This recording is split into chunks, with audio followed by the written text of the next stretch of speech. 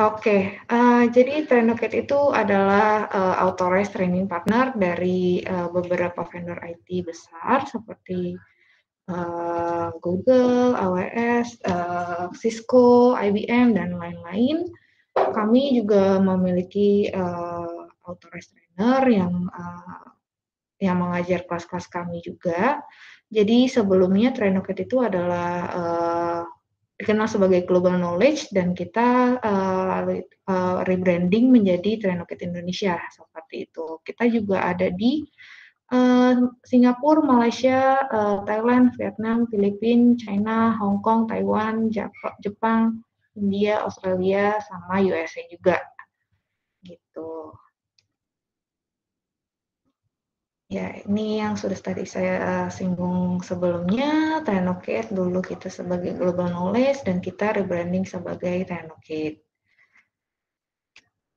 Ya, ini eh, lokasi-lokasi uh, Tenokit yang ada di Asia. Kita sudah uh, menjadi partner beberapa uh, vendor IT ini ya, mungkin bisa lihat di layar masing-masing. Dan untuk uh, pembagiannya ada kita di sistem biasanya ada Cisco, Comtia, IBM, dan yang lain-lain. Apa di security ada Cisco, Comtia, IC Council, Fortinet, Trend Micro. Di cloud nih yang lagi nge-trend sekarang, yang mau kita bahas nanti juga, kita ada dari course dari Alibaba, AWS, Comtia, Google Cloud, IBM, Microsoft, Nutanix, Red Hat, VMware. Dan mungkin ke depannya kita akan berpartner uh, lagi dengan eh, vendor-vendor uh, lainnya. Gitu. Dan yang uh, terakhir kita mendapatkan award kemarin itu dari uh, TNI Industri USA ya. Uh, kita dapat award uh, 2021 Top IT Top 20 Company IT Training gitu. Dan ini juga mungkin ada teman-teman nanti kalau mau berkunjung ke uh, kantor kami atau mau training di uh, Trenoket langsung gitu, ini uh, ada berbagai fasilitas uh, dari segi ruangan, dan ini ruangan uh, kelas kita seperti ini. Jadi nanti ke depannya mungkin uh, jika ada yang tertarik uh, untuk training di training in, di Trenoket Indonesia nanti bisa kontak-kontakkan dengan saya atau uh, tim sales uh, yang lain ya gitu. Oke, mungkin kalau mau ini mau di screenshot boleh nanti kalau ada uh, pertanyaan terkait training-training atau uh, terkait uh, mungkin ada yang mau ngambil sertifikasi atau ngambil uh, yang lainnya bisa kontak uh, di telepon di sini atau email aja di indonesia@trenoket.co.id. Ini ada sosmed kita juga, Trenoket Indonesia. Atau Instagram kita ada trenoket.id. Nah, biasanya kita juga sharing promo dan event-event ada di uh, website kami, yaitu di www.tnoket.com. Tuh. Oke, okay. uh, eh, untuk hari ini kita, uh, ini merupakan uh, workshop pertama kita ya di tahun 2002 ini, yang akan dipandu nanti sama Mas Ardan juga ya. Uh, Mas Ardan ini sudah authorized trainer dari Trainer Indonesia. Uh, beliau sudah banyak nih uh, skillnya nih. Jadi nanti mungkin yang mau tanya, mungkin nanti setelah materi selesai kita akan mengadakan sesi tanya jawab ya dengan Mas Ardan atau nanti kita bisa sharing-sharing juga dari peserta. Mungkin ada yang mau sharing juga boleh. Kita santai aja, enjoy aja kelasnya. Jadi uh, itu aja sih dari saya nanti kalau saya uh, masih standby, nanti uh, di penghujung acara mungkin kita ngobrol-ngobrol lagi gitu. Uh, saya kembalikan lagi ke Mas Ardan ya. Uh, silakan dimulai Mas Ardan. Siap, terima kasih Mbak Sultana. Terima kasih banget udah di open kelasnya. Selamat pagi teman-teman semuanya. Ini Alhamdulillah udah mulai banyak yang join ya. Sebelumnya saya mau ucapin dulu terima kasih banyak buat teman-teman semua yang udah uh, join ya. Ini kan jatuhnya udah masuk ke weekend nih, cuman masih semangat buat belajar. Terima kasih sekali udah join ke workshop kita kali ini. Dan seperti yang dibilang sama Mbak Sultana tadi, ini adalah workshop pertama dari workshop series kita di Q1 2022 ya. Kita mulai dari yang fundamental dulu, dari yang mungkin masih agak simpel dulu ya, yaitu migration to cloud uh, high level overview. Ya, mungkin ini sekalian saya present screen dulu.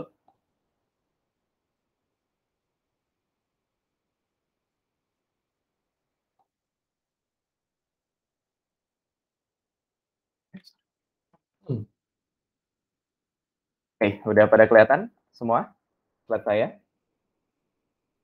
Ngomong kalau saya lagi present kayak gini, uh, window Google Meet-nya nggak kelihatan ya di, di, di tampilan saya. Jadi kalau teman-teman mungkin ada yang mau ditanyakan atau apa, di unmute aja, terus ditanyain aja. Atau kalau misalkan tiba-tiba slide saya uh, putus gitu ya, berhenti, atau suara saya patah-patah, atau lag, uh, langsung ngomong aja. Ya. Gitu. Oke, sebelumnya kenalan dulu. Uh, Assalamualaikum warahmatullahi wabarakatuh. Selamat pagi. Perkenalkan, nama saya Ardan, Ardan Yoga. Um, saya adalah trainer dari Trenoket Indonesia, seperti yang dibilang sama Mbak Sultana tadi.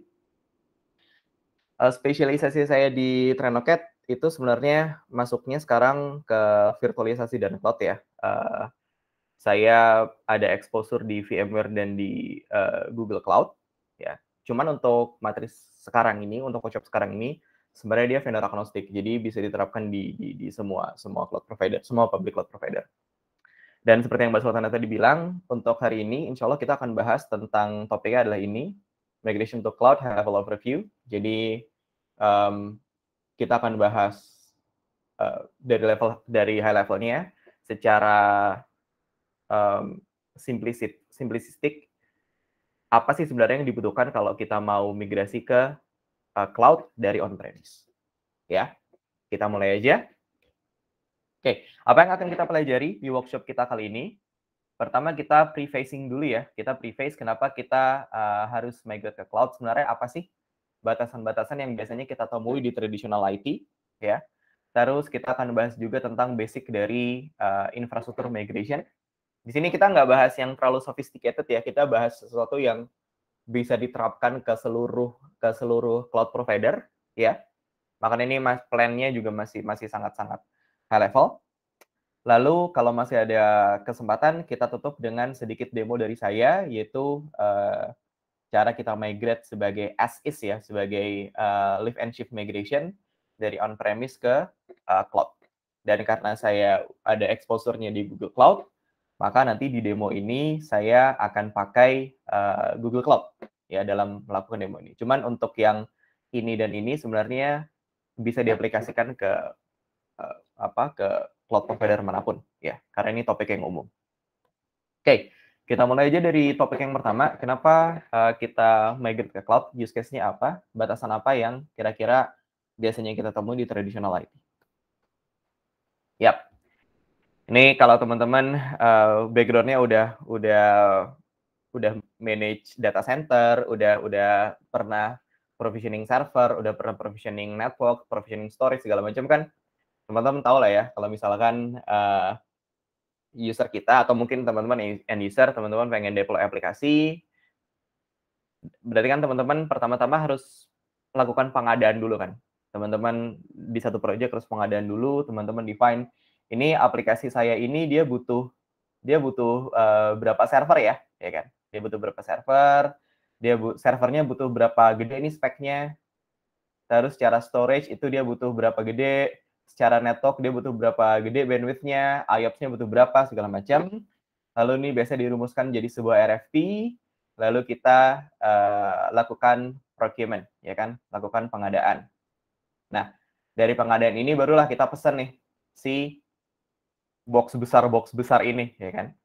Server-servernya kita pesan, storage kita pesan, network kita kita pesan, datang ke data center kita tapi jelas nggak bisa langsung dipakai ya kan? Kita harus mounting dulu. Kita harus konekin kabel-kabelnya dulu. Kita harus clutching. Kita harus uh, lakukan initial configuration. Kita expose ke network. Baru bisa kita configure untuk hosting aplikasi kita. Ya jadi stepnya ada beberapa macam beberapa langkah untuk menghadirkan aplikasi kita. Ya jadi Uh, ini mungkin sesuatu yang kalau di traditional IT di on-premise uh, infrastruktur itu sesuatu yang nggak bisa kita hindari ya karena emang kita harus melalui ini karena kalau kita nggak melalui ini semuanya ya aplikasi kita kita hosting di mana dong kalau gitu? Ya kan? Itu yang pertama.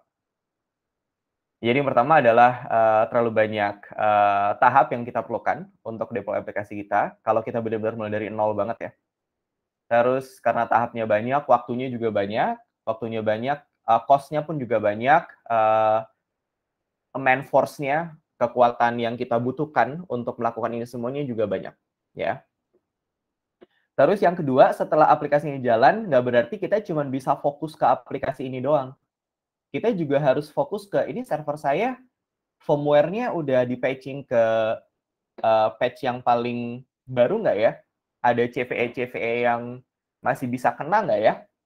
Ini storage-nya kira-kira uh, ya kurang lebih tadi sama ya. Uh, udah di patching belum ya segala macam. Sama kan kita juga harus monitoring uh, berapa sih sekarang suhu dari server kita, suhu dari kita, suhu dari network uh, appliance kita, uh, electricity-nya gimana ya?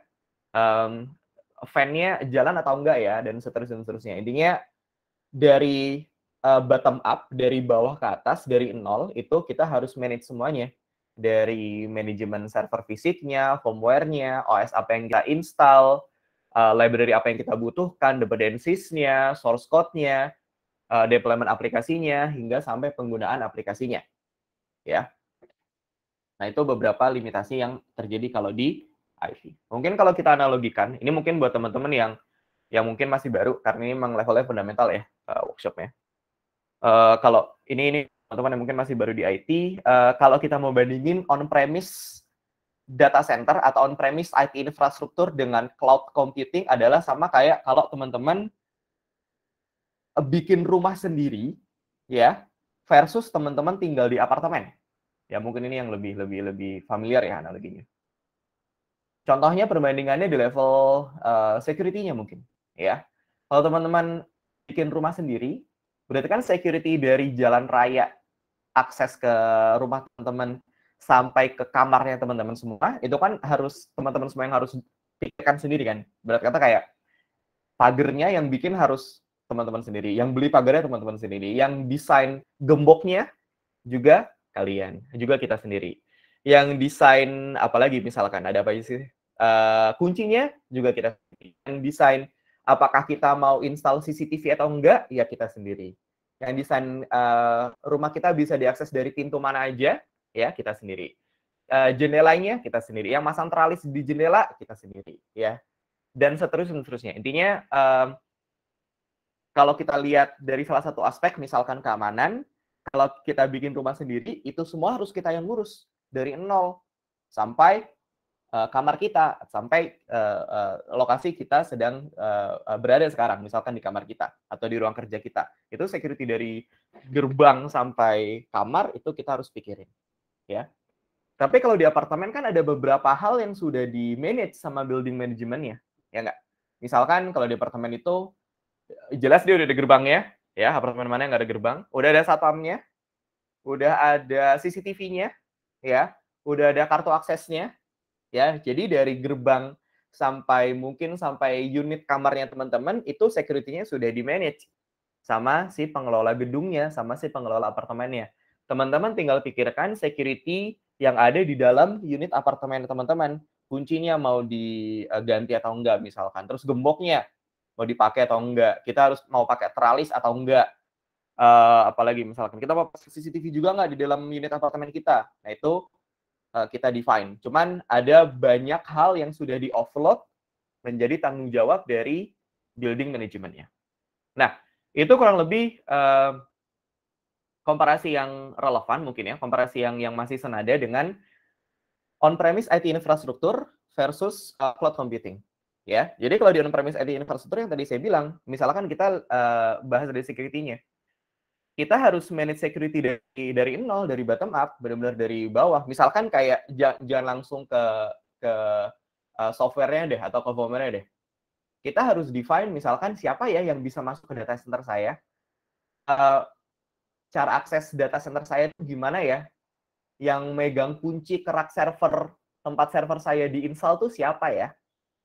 Apakah yang yang bisa monitor CCTV dari data center saya itu siapa ya baru masuk ke server. Yang bisa patching, uh, yang bisa punya akses konsol ke servernya siapa? user passwordnya apa, yang bertugas untuk patching servernya siapa, dan seterusnya dan seterusnya. Jadi benar-benar dari nol sampai security dari aplikasi kita itu kita yang manage. Beda sama cloud uh, computing. Kalau kalau di cloud computing itu uh, ada beberapa hal yang sudah dimanage sama cloud provider. Contoh misalkan saya punya virtual machine taruh di cloud provider, katakanlah di Google gitu ya. Uh, physical machine yang dipakai oleh Google untuk hosting VM kita, itu semua hal termasuk security-nya yang manage adalah Google. Ya, makanya kalau kita lihat di uh, beberapa public covering, biasanya di bidang security dan compliance, mereka udah comply sama misalkan ISO 2701, misalkan uh, beberapa regulasi-regulasi, misalkan PCI DSS, misalkan HIPAA, atau regulasi-regulasi lokal misalkan kayak PP 71 2019 segala macam yang uh, bilang bahwa oke okay, ini saya sudah lolos uh, audit uh, third party yang menyatakan bahwa uh, data center fisik dari cloud provider saya ini sudah lolos sudah uh, tersertifikasi comply dengan regulasi ABCDE. Jadi kita uh, udah percaya bahwa oh berarti emang udah secure nih dari segi server fisiknya, dari segi physical infrastrukturnya, sehingga kita tinggal ngamanin dari segi virtual machine-nya, dari segi software-nya.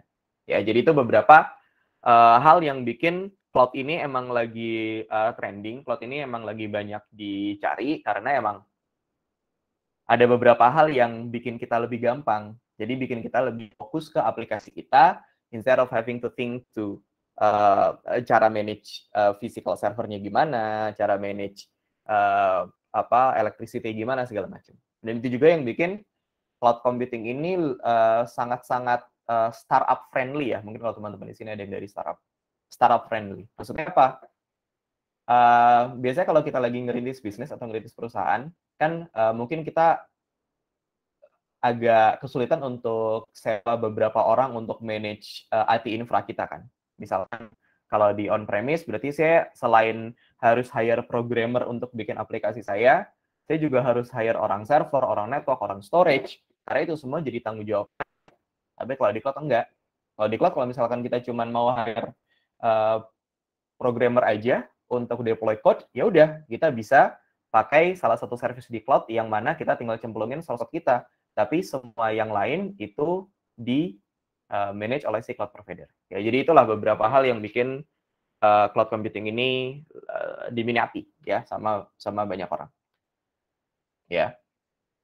Nah ini ya, ini jadi kalau misalkan kita taruh uh, workload kita di physical server, ya kita harus manage semuanya dari segi server dari bottom up sampai ke aplikasi kita. Gitu. Kita sewa pun juga sama ya. Uh, kalau kita terus apa? Itu gimana kalau misalkan kita sewa data center gitu ya? Kalau kita sewa data center kan yang yang manage data centernya itu kan si apa gedungnya, gedung data centernya bukan kita. Ya ya benar. Konsep ini namanya co-location. Tapi gimana kalau uh, siapa yang bertanggung jawab untuk akses firmware dari servernya, untuk akses operating system dari servernya? Kan tetap kita. Jadi walaupun kita sudah offload beberapa hal ke yang punya data center, yang manage data centernya, cuman masih ada beberapa hal lain yang sifatnya masih dasar yang jadi tanggung jawab kita juga. Oke. Okay. Ya. Yeah. Sehingga uh, hal beberapa limitasi itu membuat kita lambat laun beralih ke cloud computing. Ya, beralih ke cloud computing. Ini kalau misalkan kita mau runtut ya, ini evolusi dari IT infrastruktur kita, dari data center kita. Jadi dulu ya, ini mungkin saya rasa Indonesia udah lewat udah lewat stage inilah. Indonesia mungkin uh, kebanyakan cloud premise itu ini kalau pakai ini. Tapi ini udah udah jarang dipakai. Jadi dulu itu kalau kita punya server, kita punya network appliance, kita punya storage, itu dulu kita deploy-nya satu-satu. Dalam artian misalkan gini, misalkan kita deploy uh, uh, arsitektur biasa misalkan.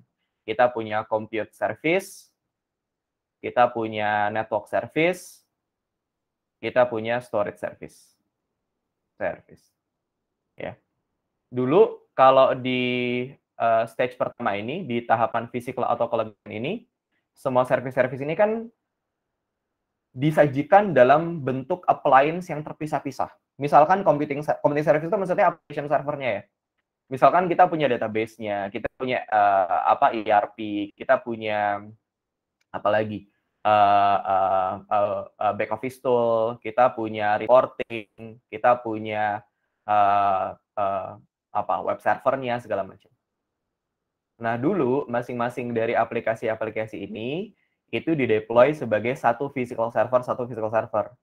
Jadi kalau di sini misalkan saya butuh satu, dua, tiga, empat, lima aplikasi, maka saya harus uh, mounting, saya harus deploy server 1, server 2, server 3, server 4, server 5. Nah, ini yang physical server semua, ya kan?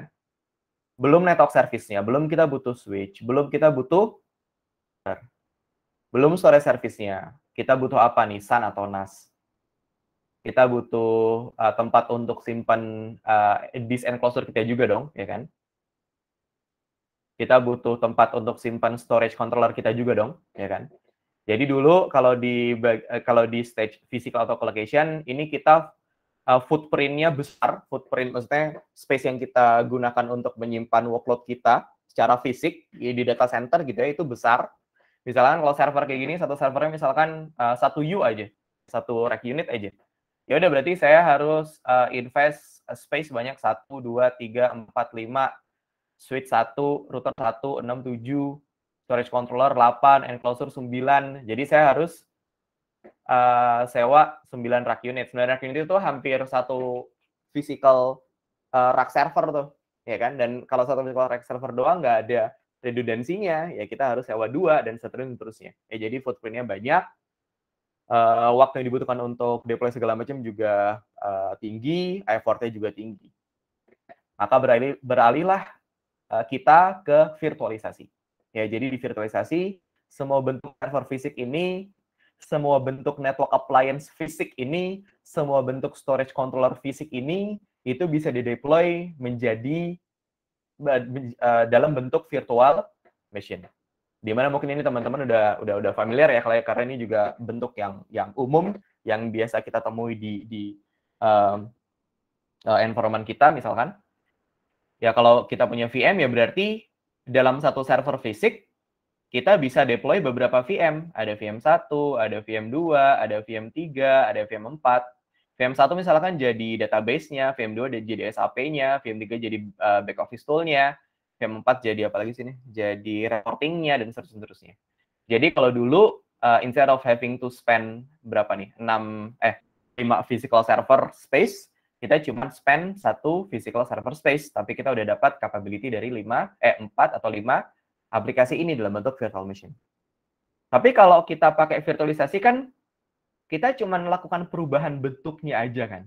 Tapi secara manajemen, secara administratif, kita juga harus uh, punya orang-orang untuk operate si VM-VM ini, yang orang-orang yang tahu database, yang tahu uh, uh, reportingnya, yang tahu server fisiknya karena bagaimanapun kita juga butuh server fisik, yang tahu networknya, yang tahu storage-nya.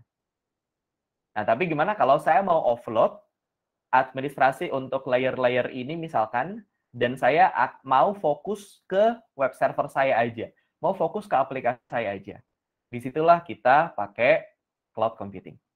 Ya, jadi kalau di cloud, cloud computing kita bisa pilih service-service apa aja yang mau diotomasikan, yang mau di kita untuk di manage oleh uh, oleh uh, cloud provider. Gitu. Ya. Nah sekarang kita masuk ke cloud computing. Jadi apa itu cloud computing? Uh, ini kita bahas definisi dasarnya dulu ya. Menurut NIST, uh, cloud computing ini adalah semua jenis service, semua jenis service yang bisa diakses yang bisa diakses dari jaringan. Ya. Tanpa harus deploy service tersebut ya di premis kita. Maaf ya ini tulisannya agak jelek. Ya ini ini definisi ofisialnya, definisi bakunya. Ya semua service yang bisa diakses dari jaringan tanpa harus deploy di premis kita itu adalah cloud computing service menurut NIST, National Institute of Standardization and Technology. Uh, tapi semakin sekarang, ya terminologi ini dirasa nggak cukup lagi. Ya, semakin ke, uh, semakin ke sini, cloud computing itu dituntut untuk memiliki beberapa sifat Apa sifatnya lima ini? Ya, lima sifat ini. Yang pertama apa? Ada on-demand self-service. Jadi uh, kurang lebih ini sama kayak senada sama kayak uh, definisi NIST ya. Dalam artian si user harus bisa self-service, harus bisa deploy servisnya sendiri tanpa bantuan orang lain, tanpa bantuan uh, administrator misalkan. Broad network access, nah ini uh, fitur atau sifat yang sangat melekat terhadap public cloud provider, di mana service-servisnya harus bisa diakses oleh oleh oleh klien, oleh user dari internet, jadi bisa diakses dari mana aja. Resource pooling, karena harus bisa diakses dari mana aja, maka penempatan servisnya itu harus bisa di mana aja. Sehingga si public cloud provider ini harus uh, punya serangkaian data center, serangkaian physical infrastruktur yang mungkin tersebar di beberapa wilayah yang menjadi tempat untuk menyimpan workload dari user-usernya, menyimpan VM-VM-nya user, menyimpan aplikasi-aplikasi user. Ya, jadi aplikasi-aplikasi user ini dipool, ditempatkan ke serangkaian physical data center atau physical infrastruktur yang uh, saling berkaitan, saling integrasi, saling berkonsolidasi satu sama lain.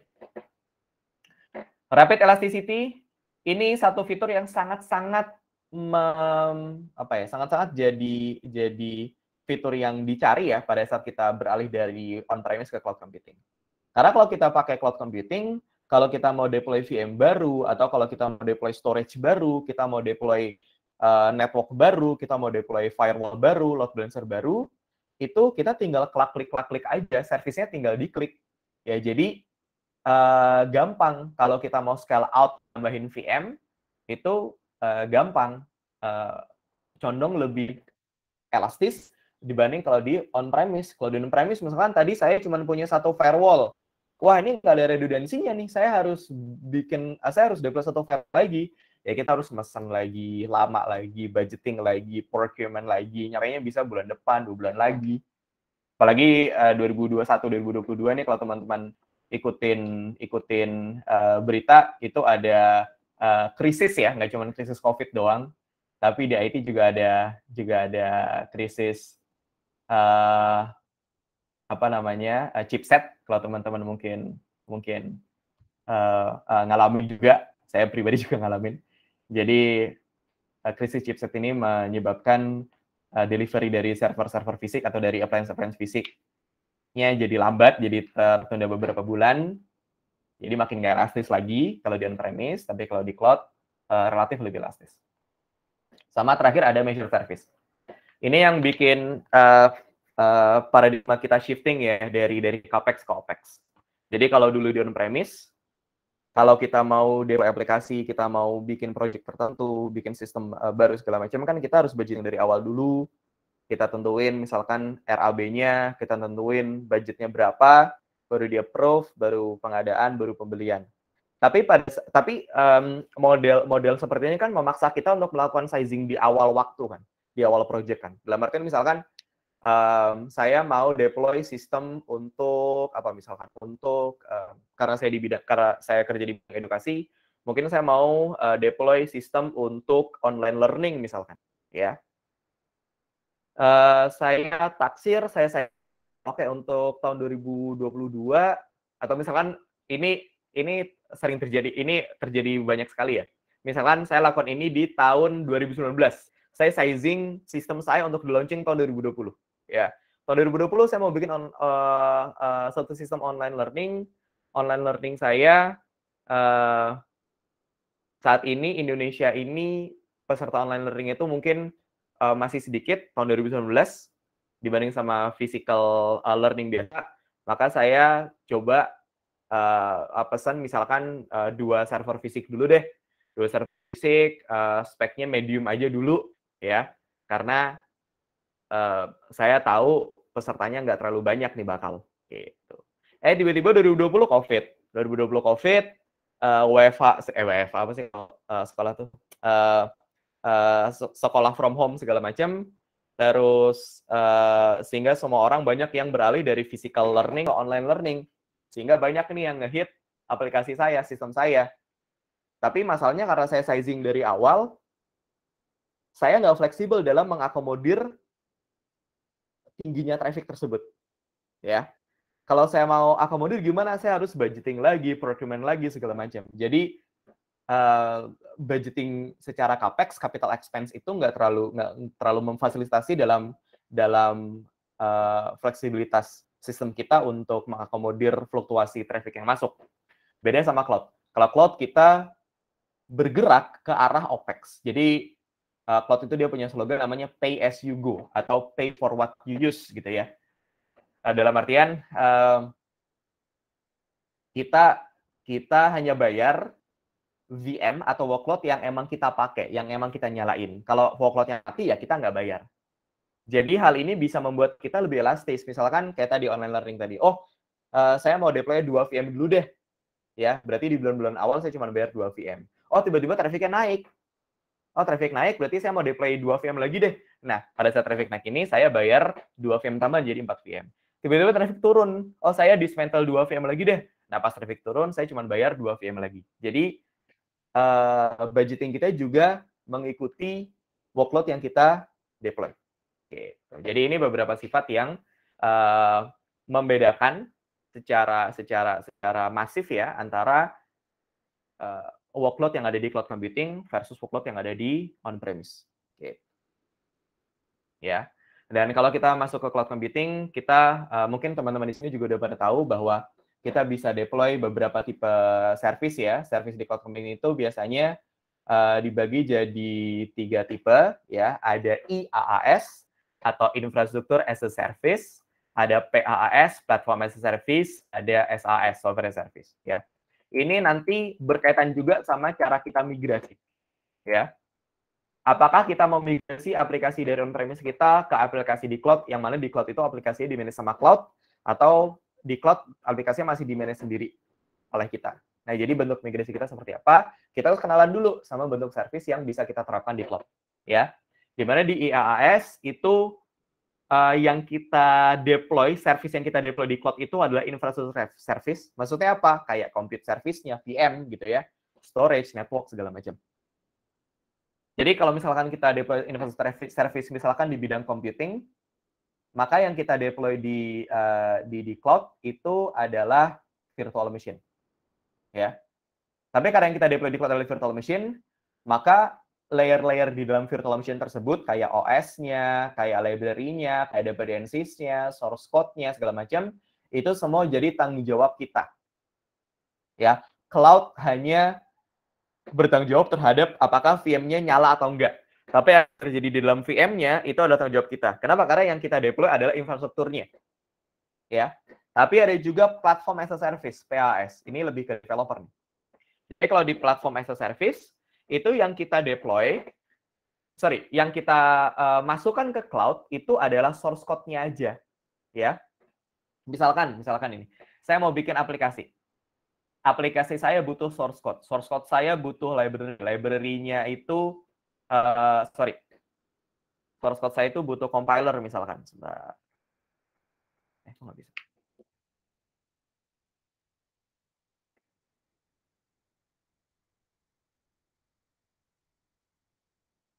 Udah. Uh, source code butuh compiler. Compilernya butuh library, library-nya butuh operating system, operating systemnya butuh uh, uh, uh, VM misalkan. Nah, kalau di infrastruktur as service, ini semua yang kita yang manage. Oke. Okay? Tapi kalau di platform as a service, ya, yang manage OS-nya, compiler-nya, library-nya itu adalah si cloud provider. Jadi kita tinggal bertanggung jawab terhadap source code yang kita taruh ya semua yang lainnya di manage sama si cloud provider. Jadi ini uh, bagus banget kalau kita emang pengen fokus ke building aplikasi kita. Cuman pengen fokus di source code kita, developer ini uh, bagus di sini. Selain itu ada juga software as service. Kalau software as service, software-nya udah jadi. Jadi yang bikin software-nya bukan kita lagi, tapi si cloud provider. Kita tinggal make. Gitu. Jadi kalau kita balik lagi ke sini, aplikasinya udah jadi. Yang make kita. Tapi kita nggak bisa akses source code-nya kita nggak bisa mengakses dependencies-nya, kita nggak bisa mengakses compilernya, ya karena softwarenya udah jadi. Gitu. Nah dari sini kita bisa lihat bahwa semakin ke kan, semakin uh, uh, ke atas ya dari IaaS, PaaS sama SAS, semakin ke atas itu tanggung jawab yang kita uh, miliki sebagai user itu semakin sedikit. Ya, kebanyakan tanggung jawabnya itu di manage sama si cloud provider. Tapi ada drawback-nya juga. Drawback-nya adalah fleksibilitas kita sebagai user atau hal-hal apa yang bisa kita custom sebagai user itu juga semakin sedikit. Contohnya kayak software service. Misalkan saya pakai Google Maps misalkan. Google kan dia software service ya. Dalam artian saya nggak nggak nggak deploy aplikasi Google Maps-nya, saya tinggal pakai. Cuman kalau misalkan saya pakai Google Maps terus saya pengen, wah ini kalau ada fitur uh, baru uh, A gitu ya, akan lebih bagus lagi nih. Nah saya nggak bisa, soalnya saya nggak punya kapabilitas untuk akses si source code-nya. Gitu. Jadi fleksibilitas kita semakin tinggi, semakin semakin ke arah atas dari uh, tier service yang kita deploy di uh, cloud itu semakin rendah fleksibilitasnya. Gitu. Jadi ini pinter-pinter kita untuk uh, pilih antara IaaS, AAS, sama SAS. Ini kalau teman-teman lihat, user responsibility semakin ke kanan itu dia semakin kecil, uh, cloud provider responsibility semakin ke kanan itu semakin besar. Ya. Nah, itu adalah uh, introduction-nya dulu ya. Jadi saya harap teman-teman sekarang udah punya sedikit gambaran tentang apa itu cloud, kenapa kita butuh migrasi ke cloud, hal-hal apa yang dijual, yang yang jadi uh, benefit dari uh, cloud dibanding sama on-premise IT infrastruktur. Sebelum saya masuk ke topik berikutnya, saya mau ngecek uh, dulu ke apa ke Google Meet. Ada yang nanya, mungkin ada yang chat. Ya nggak ada ya, aman semua. Oke, ini udah ada lumayan banyak nih yang join. Oke. Nah sekarang baru kita masuk ke menu utamanya dari kenapa teman-teman join ke kelas ke workshop ini uh, basic dari infrastruktur migration. Ya. Jadi apa sih yang sebenarnya yang harus kita perhatikan untuk migrate dari on-premise workload kita ke cloud? Ini adalah alur migrasi paling umum. Ya, typical migration plan, plan paling umum. Ya, terdiri dari empat stage, assessment, planning, deploy, sama optimize. Ya, Assess, maksudnya apa? Assess itu maksudnya adalah kita harus tahu dulu, ini workload yang mau kita pindah itu apa aja. Criticality dari workload kita tuh apa? Workload kita kalau dipindah, itu butuh service apa aja. Workload kita kalau dipindah, itu butuh resource apa aja. Workload kita kalau dipindah itu bentuknya apa nih nanti di cloud? Cara dia ngobrol bagaimana? Port apa yang harus dibuka? Network uh, apa requirement itu apa? Ya, kita assess dulu benar-benar setelah kita akses benar-benar, baru kita plan migration-nya. Oke, misalkan saya di di, di on-premise ada 20 VM gitu ya. Saya harus tahu nih, ini dari 20 VM mana dulu ya yang enaknya untuk di-migrate, biar impact-nya nggak terlalu besar, tapi uh, proses migrasinya udah jalan. Ya.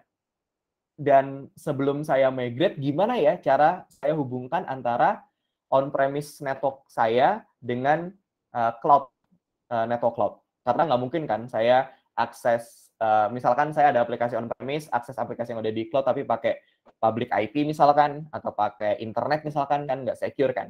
Nah gimana cara kita konekin pakai private network? Oke, ini ada yang chat oh iya. Thank you mbak Sultana benar ya jadi kalau teman-teman mau ada yang mau ditanyakan boleh uh, chat aja nanti sesekali saya akan lihat uh, Google Meet-nya setelah migration plan ini dibuat, kita kasih ke user atau kita kasih ke pemegang keputusan yang yang menentukan apakah mau jualan atau enggak. Setelah mereka setuju, baru kita deploy.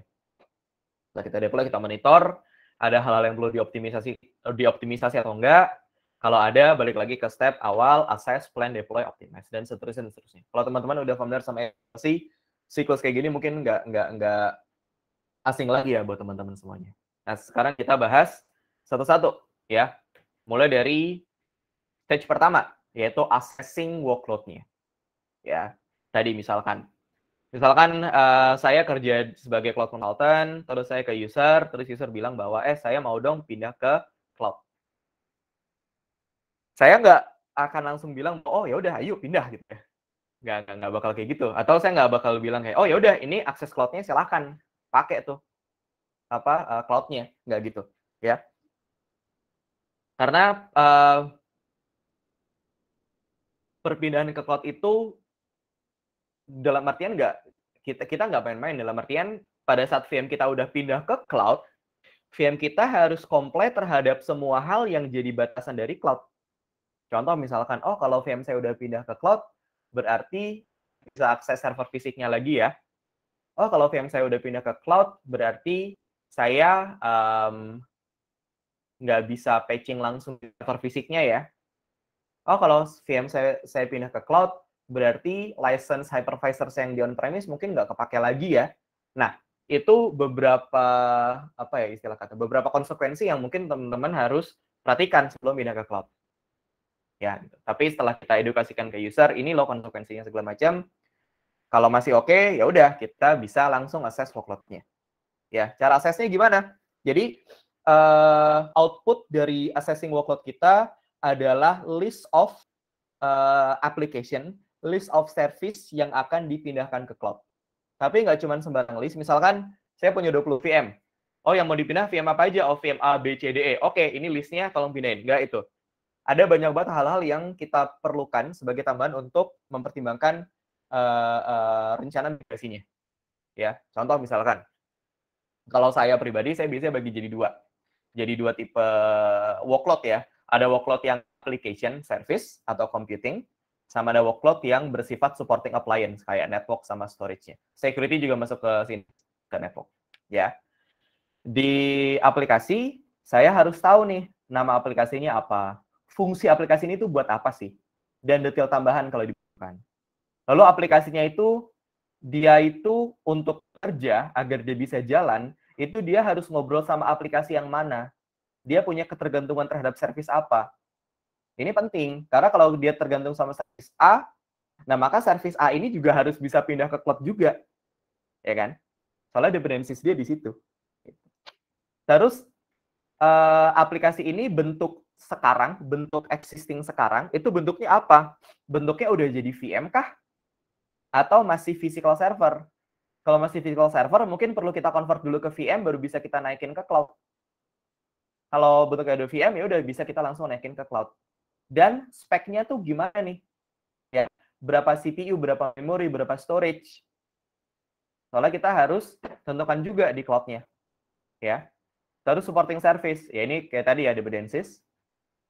Uh, terus si service ini itu, aplikasi ini itu network requirement-nya kayak gimana? Dia butuh public IP atau enggak? Atau dia cuma butuh, dia cuma uh, punya, uh, enggak apa-apa pakai private IP dia butuh uh, FQD apa fully qualified domain name atau enggak, host name atau enggak, ya. Dia butuh bisa diakses dari luar atau enggak. Dia uh, aplikasi dia jalan kalau port apa yang dibuka, TCP port berapa yang dibuka, UDP port berapa yang dibuka. Port yang dibuka ini port ya egress, ingress atau bidirectional. Ya, hal-hal seperti itu harus kita uh, tahu juga, ya. Selain application, ada juga supporting appliance, network storage, ya. Kita detailkan nama appliance-nya apa, fungsi detail sama dependencies-nya apa. Misalkan kayak kayak kayak uh, network misalkan. Oh, di sini saya punya appliance firewall. Oh, firewall ini hanya bisa bekerja kalau di bawahnya itu terhubung ke uh, edge router misalkan atau edge gateway misalkan. Ya berarti dependencies-nya ke edge gateway. Okay. Server formnya apa? Sama ya, apakah VM atau physical? Sama teknologi. Misalkan, oh, saya punya uh, sekarang ini existing saya ini saya punya storage storage saya itu dia NAS uh, eh, SSD NAS-nya itu pakai NFS nah hal kita harus pikirin gimana caranya kita deploy solusi ini di cloud kenapa karena kalau kita udah di existing udah ada storage-nya pakai NAS NAS pakai SSD pakai NFS maka server-server yang ada di on-premise ini ya sudah terbiasa dengan performanya SSD, sudah terbiasa dengan latensi yang kecil. Dan mereka udah dikonfig semuanya untuk bisa connect lewat NFS. Maka ini harus bisa di-deploy juga di cloud. Ya. Intinya kita akses dulu workload-nya. Ya. Dan ini contoh dari uh, hasil assessment-nya ya, teman-teman bisa lihat di sini. Misalkan uh, di dalam kasus ini saya ditugaskan untuk migrasi 5 aplikasi ya, lima service ya. Ada service marketing website, back office, uh, apa namanya, uh, e-commerce application, ERP, sama stateless microservice yang lain ya. Terus ini teknologi yang dipakai, terus deployment prosedurnya, requirement yang lain, data densis, dan sistem resource requirement. Ya. Jadi ini yang ini harus kita tahu dulu nih, ya. Setelah kita tahu ini adalah service-service yang mau kita migrasikan, ya. Setelah itu baru kita put ke kategori. Kita kelompokkan ya service-service ini. Apa kriteria pengelompokannya? Kriterianya itu ada ya. Pertama criticality-nya ya apakah service kita uh, atau enggak dalam artian kalau service ini mati ini impact-nya apa nih ke ke ke uh, ke sistemnya si customer ya sama apakah servisnya punya dependencies atau nggak punya dependencies. Ya. Dua kategori ini akan menentukan apakah aplikasi kita itu susah atau enggak migrasinya. Ya, jadi biasanya saya bikin kayak apa namanya empat empat uh, region gitu, ya. Ini saya punya dua aksis, ya aksis yang vertikal ini misalkan uh, terdiri dari dua kategori, misalkan uh, no dependencies sama uh, has dependencies. Terus aksis yang horizontal saya punya dua kategori, misalkan uh, non critical sama critical. Nah, terus service-service yang udah saya mas saya sampling ya dari uh, slide sebelumnya ini saya masukin ke kategori ini mana yang masuk ke kategori A, kategori B, kategori C, kategori D. Kategori A itu apa? Berarti service itu nggak critical, nggak punya dependencies. Kategori B itu apa? Critical, nggak punya dependencies. Kategori C itu apa? Punya dependencies, nggak critical. Kategori D itu apa? Punya dependencies dan critical. Ya.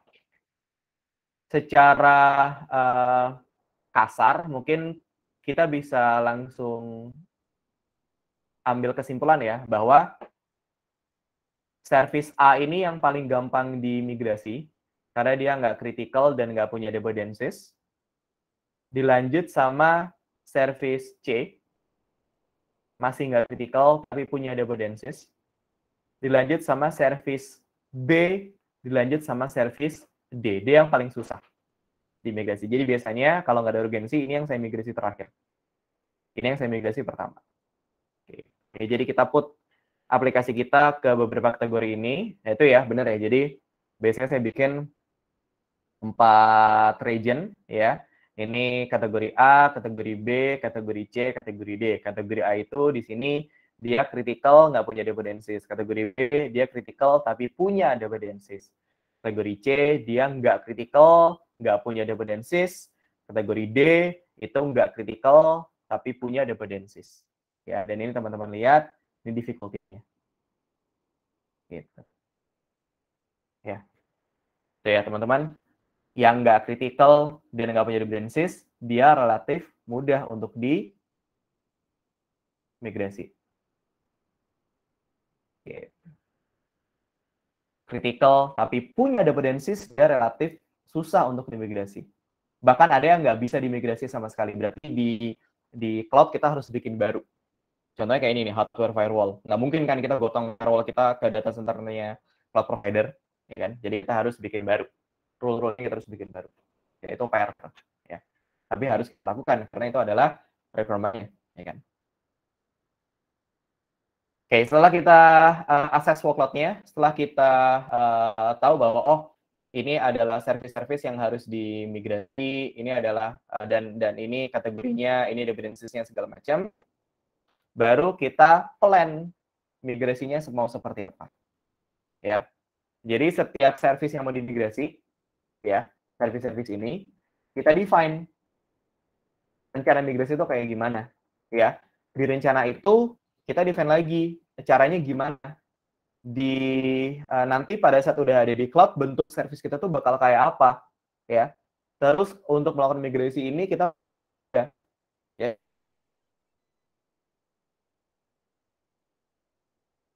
kita planning. Ya. Nah, uh, dalam melakukan planning migrasi ini, deployment service dari on-premise ke cloud itu mengikuti salah satu dari tiga cara ini. Ya, jadi biasanya ada tiga cara migrasi. Ya, ada lift and shift, ada improve and move, sama ada rip and replace. Ya, maksudnya apa? Jadi gini, kalau lift and shift, ya, kalau lift and shift itu pas kita migrasi dari on-premise ke ke ke cloud gitu ya, itu kita nggak lakukan perubahan apa pun. Ya, kita nggak lakukan perubahan apa pun. Maka dari itu proses migrasi ini biasanya disebut juga sebagai as is migration. Contoh misalkan di on-premise ini saya punya VM. Nah, pas saya migrate ke cloud, ya jadinya VM juga. Di on-premise ini, maaf, di on-premise ini saya punya kontainer. Ya pas migrasi ke cloud, ya dia jadi kontainer juga. Ya, Kecuali server fisik nggak bisa SS ya. Server fisik jelas nggak bisa SS migration atau live and shift migration. Apa benefit dari migrasi ini? Benefit dari migrasi ini adalah ini adalah tipe migrasi yang uh, yang paling cepat ya, yang paling cepat, yang paling mudah. Kenapa paling mudah? Karena kalau kita migrasi pakai live and shift, kita nggak perlu invest lagi, kita nggak perlu mempelajari bentuk servisnya lagi. Ya, contoh misalkan uh, kalau kita dua, misalkan tadi di on-premise itu saya punya VM. Tapi pas sampai di cloud itu saya deploy sebagai kontainer. Ya, Docker container misalkan. Nah, kan saya harus belajar lagi kan. Ini Docker container kalau mau matiin gimana nih? Kalau mau nyalain kontainernya gimana nih? Kalau mau update uh, edit-edit spesifikasi dari kontainernya gimana nih caranya nih? Dan kalau kontainer kan kita nggak bisa klik-klik kan. Biasanya dia pakai pakai CLI kan. Nah, itu ada ada learning curve-nya lagi, ada kita harus invest waktu yang dibutuhkan untuk belajar lagi. Kalau ASIS enggak, kalau ASIS enggak, atau live and shift enggak. Ya jadi kalau di on-premise kita VM, ya di cloud kita VM. Cara matiinnya sama, cara nyalainnya sama, cara ganti spesifikasinya sama, cara kerjanya sama, karena bentuk servisnya sama. Ya kan? Apa minusnya? Minus dari live and shift ini adalah kadang ada beberapa tipe uh, on-premise workload yang kalau kita migrasinya secara as is atau live and shift, itu pas udah sampai di cloud itu dia nggak bisa merasakan full feature dari cloud. Nggak bisa merasakan kehebatan maksimal dari cloud. Ya, Biasanya ini terjadi kalau di on-premise itu kita punya uh, eh, VM-VM atau server-server yang sifatnya monolitik. Ya, Maksudnya apa? Gini misalkan. Misalkan kita ada di on-premise, di sini saya punya VM. Ya. VM saya ini uh, dia punya dua service gitu ya. Dia punya database sama dia punya aplikasi. Ya, dia punya database sama dia punya aplikasi. Harus VM ini saya migrasi ke cloud sebagai asset. Oh sorry, ada yang tanya ya.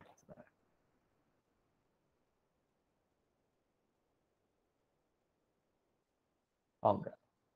Oh tadi kayaknya notifikasi orang join ya. Oke, lanjut ya.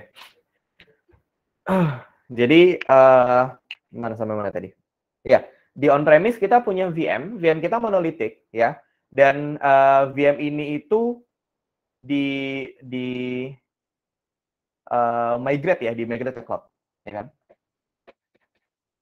Nah, pas di migrate ke cloud, bentuknya apa ya? Bentuknya VM juga. Bentuknya VM juga dan dalam VM ini dia ada aplikasi sama ada database-nya. Kira-kira nih, saya mau nanya nih sekarang ke teman-teman. Bentuk deployment kayak gini, kalau kita mau auto scaling, gampang atau susah? Mungkin buat teman-teman yang udah udah udah uh, familiar di cloud. Kira-kira gampang atau susah nih? Atau ini kita sebut sebagai stateful ya? Stateful workload. Ya. Kenapa ini yang jadi uh, fitur yang saya tanya?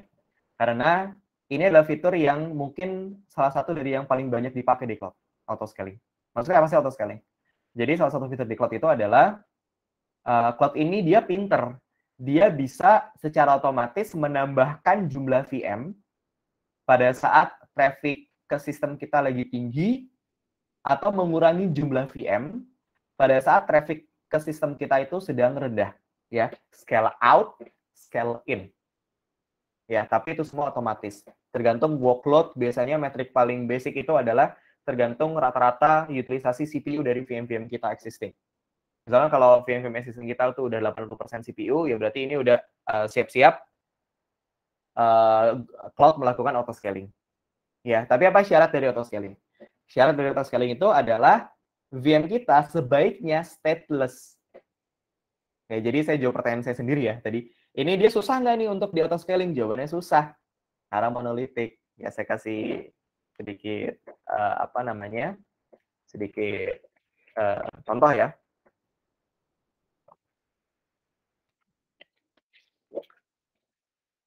Misalkan uh, tadinya saya punya VM VM saya punya database sama punya web uh, server. Ini kalau mungkin teman-teman udah ada yang pernah ikut kelas uh, saya sebelumnya, ini pasti familiar nih sama contohnya ini. Ya, ada VM web server sama ada uh, sorry, ada web server sama data, database dalam satu VM yang sama. Terus sekarang ini, misalkan web server ini adalah web server untuk uh, registrasi user gitu ya. Terus di database ini saya punya tabel username sama password simple nih. Karena ini masih kosong. Karena belum ada karena belum ada um, isinya sama sekali. Ya iyalah kosong kan nggak ada isinya. Maksudnya nggak belum dipakai gitu ya. Nah, kalau kita mau auto scaling, biasanya VM kita ini udah jadi dulu, ya. Kita udah install web server, kita udah install database-nya, lalu kita bikin jadi template. Ya, template VM. Oke. Okay? Lalu kita bikin auto scaling configuration di cloud-nya. Di mana dalam satu konfigurasi ini, dalam satu auto scaling configuration ini, kita define kayak, uh, oh, nanti kalau uh, pertama kita define kayak misalkan triggernya. Triggernya apa? Oh, triggernya adalah misalkan CPU-nya uh, 60%. Ya. Terus uh, deploy-nya itu dari mana? Oh, deploy-nya itu dari template VM uh, A misalkan. Ya. Terus berapa minimum jumlah instance-nya? Berapa minimum jumlah VM-nya? Minimum satu. Berapa maksimumnya? Misalkan maksimumnya 5. Gitu. Jadi uh, kita hubungkan template VMA ini ke auto scaling configuration kita. Jadi nanti kalau uh, konfigurasi ini ke trigger, CPU-nya udah 60% ke trigger ya, di auto scaling, dia akan deploy VM baru dari template yang udah kita bikin sebelumnya. Jadi otomatis di deploy-nya. Nah, tapi masalahnya di sini. Ini ini dia stateful ya dalam artian uh, state information ya, itu disimpan di database, disimpan di satu tempat yang sama dengan VM yang di auto scaling. Ya. Terus ini saya enable nih.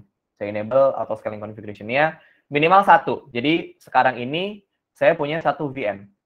Oh ya, biasanya kalau kita pakai auto scaling configuration, kita tempatkan load balancer ya di sini. Jadi ini dia mengeluarkan satu virtual IP, klien aksesnya dari situ, dari virtual IP ini. Ya. Ini adalah satu auto scaling configuration kita. Ya. Jadi saya punya VM. Kan karena minimal satu ya. Saya punya VM A. Terus uh, saya ada user, user saya akses ke apa website saya, dia nembak IP-nya load balancer, load balancer nembaknya ke VM A. Oke. Okay. Terus user lakukan proses registrasi. Registrasi user. Misalkan namanya adalah uh, Ardan, passwordnya adalah 123. Ini username-nya, ini passwordnya. Nah, jadi sekarang di VMA ini, di VMA ini, di database-nya VMA, itu saya punya satu entry. Ya, username password. Username-nya siapa? Ardan. Passwordnya apa? 123. Ya. Lalu beberapa saat kemudian ada user-user lain yang uh, uh, bikin bikin akun, jadi ada user lain kayak ada B, C, D, E. Jadi sekarang database-nya udah udah mulai keisi banyak. Udah mulai keisi banyak, CP-nya tinggi. CP-nya tinggi di atas 70% atau scaling configuration ini dia akan uh, tertrigger ya, lalu dia akan deploy VM baru dari template VM A ini jadilah VM B. Tapi nah ini yang menarik pas VMB ini di deploy, ini kan dia kan pakai template VM template VMA ini kan. Di mana template VMA ini pada saat dibuat, database-nya masih kosong.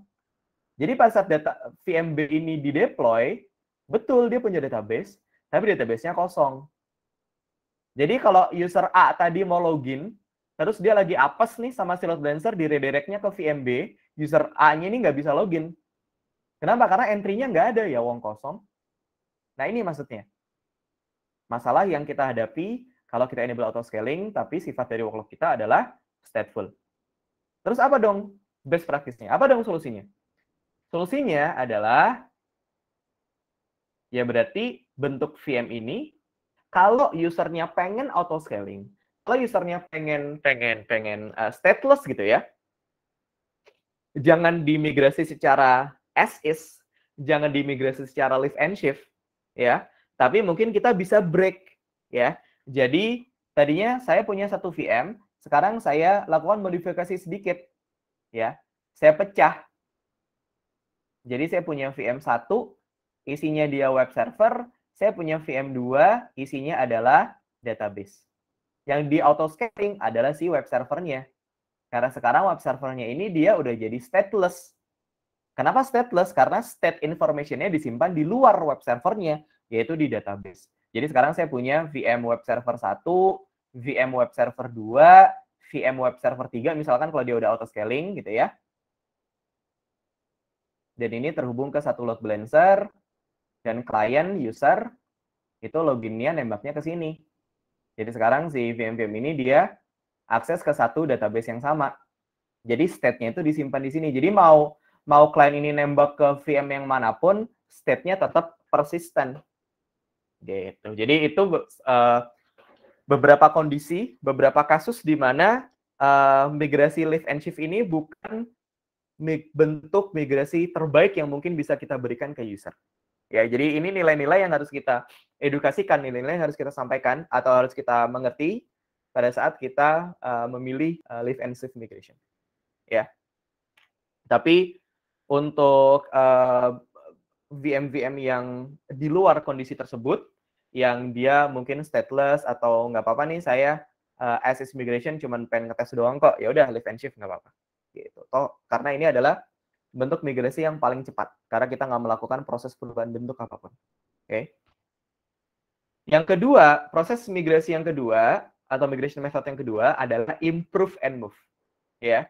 Jadi di improve and move itu kita lakukan modifikasi sedikit dari bentuk workload yang kita migrasi tanpa merubah esensi atau tanpa merubah source code dari workload yang kita migrasikan. Tapi bentuknya kita rubah sedikit ya.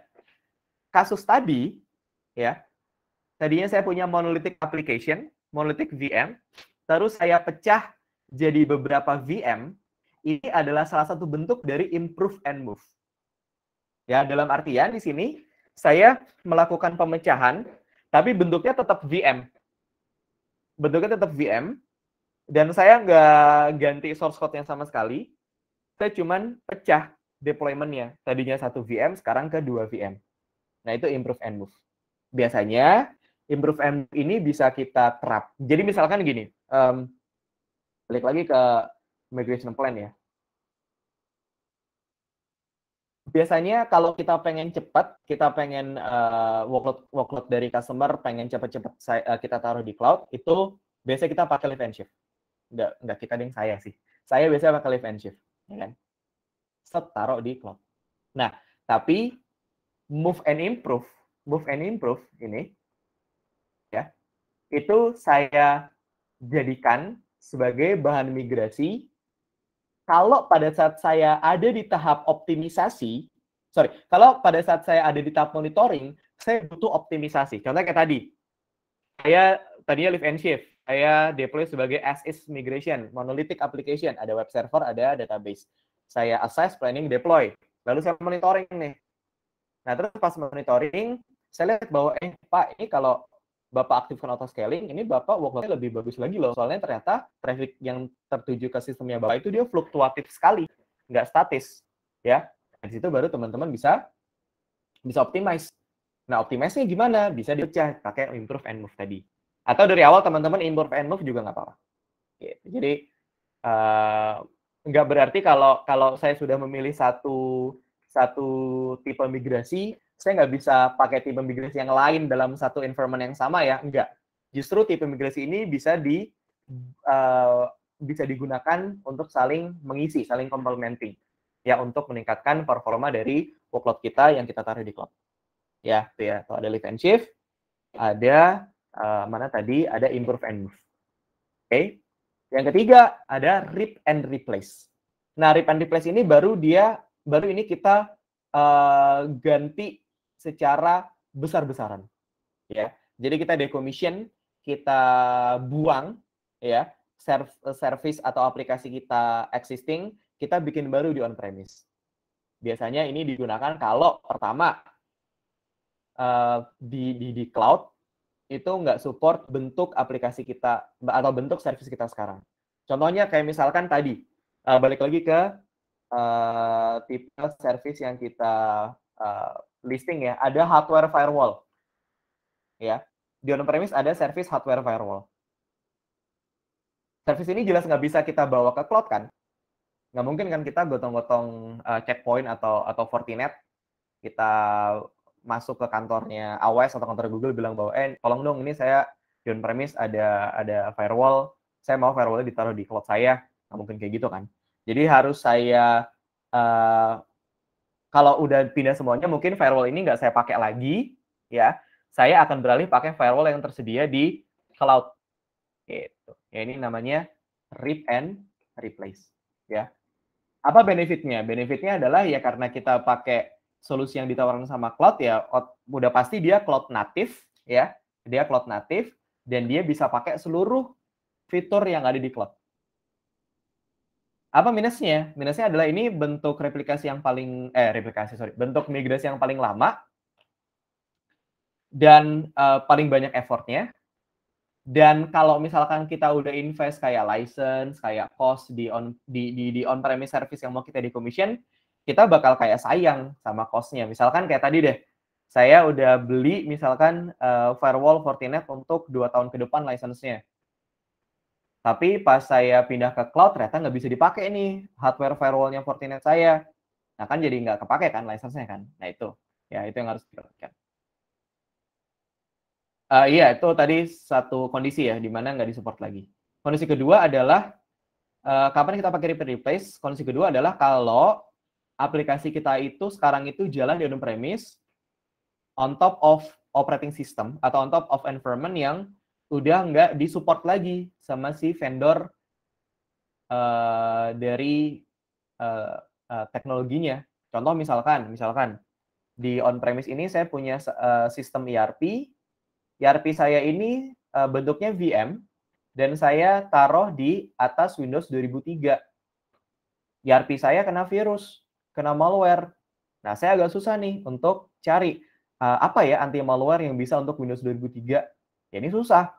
Wong Microsoft aja udah uh, menghentikan support terhadap Windows 2003, mana ada, bukan mana ya maksudnya akan susah untuk mencari produk produk-produk security yang masih mau protect si OS ini yang udah nggak nggak disupport.